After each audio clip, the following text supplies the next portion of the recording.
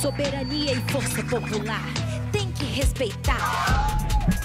Liberdade de expressão não é licença pra espalhar mentira, ódio, golpe, desavença. Democracia é conquistada, não é sorte. Pode recuar que a consciência que é forte. Na hora da verdade, a democracia fala mais alto.